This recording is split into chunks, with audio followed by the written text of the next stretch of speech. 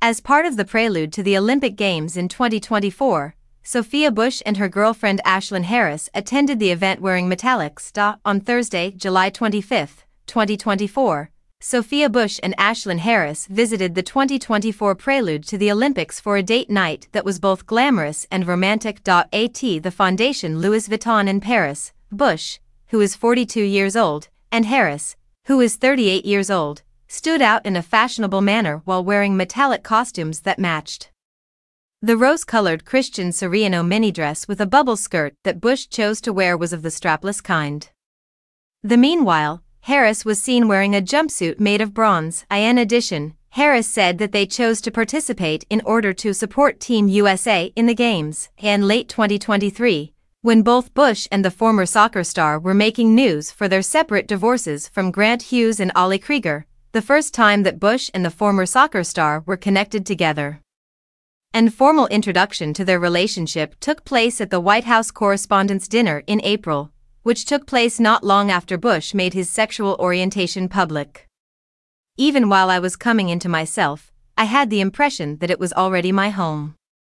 The following is an excerpt from an article that Bush wrote for Glamour. I believe I have always known that my sexuality exists on a spectrum. The term that I believe most accurately describes it at the moment is queer. To tell you the truth, I honestly can't say that without smiling. And it was a very amazing experience. After that, she remarked, the idea of having to come out in 2024 is something that I kind of despise.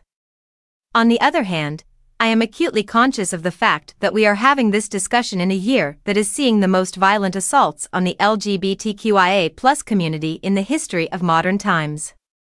The year 2023 saw the introduction of more than 500 anti-LGBTQIA measures in state legislatures. Hence, I feel it is imperative that I show the act of coming out the respect and reverence that it deserves. According to Bush, the experience of coming out made her feel as if she can breathe. That is so deep that I don't believe I could ever adequately express it.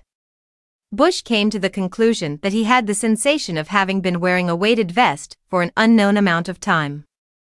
Until I finally just put it down, I had no idea how heavy it was. The speaker said Harris has been her cheerleader of choice both on and off the red carpet ever since she came out as gay.